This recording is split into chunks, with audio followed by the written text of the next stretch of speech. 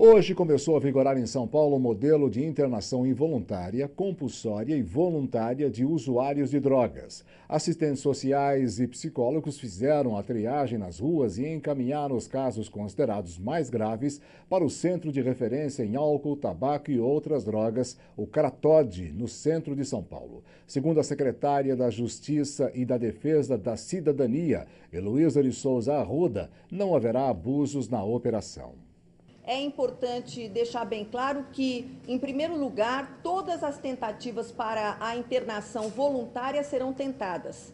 Existem agentes eh, que estão atuando nas ruas, pelo Estado, a Missão Belém, com mais de 50 abordadores sociais, além das equipes da Prefeitura de Saúde e Assistência Social, tentando as internações voluntárias mas há situações em que a pessoa está em estado de drogadição avançado, muitas delas é, tendo também comorbidades, ou seja, elas são drogaditas, são dependentes químicas e possuem doenças reflexas como a tuberculose, a AIDS e a hepatite, e além, além disso há a situação das grávidas e das crianças.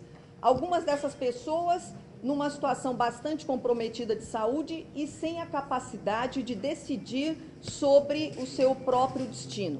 A força policial está descartada para estas abordagens e para a condução dos doentes ao pronto-socorro, porque há equipes especializadas médicas para esta intervenção. As pessoas que podem ser levadas num primeiro momento para um pronto-socorro e a partir daí será questionada a pessoa se ela quer permanecer internada. Se ela quiser permanecer internada, não há necessidade de acionamento do sistema de justiça.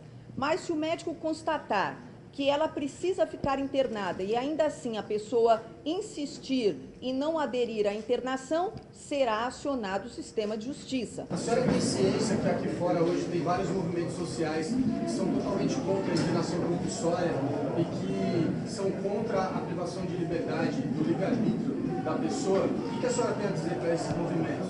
Nós vivemos num país democrático, eles podem se manifestar.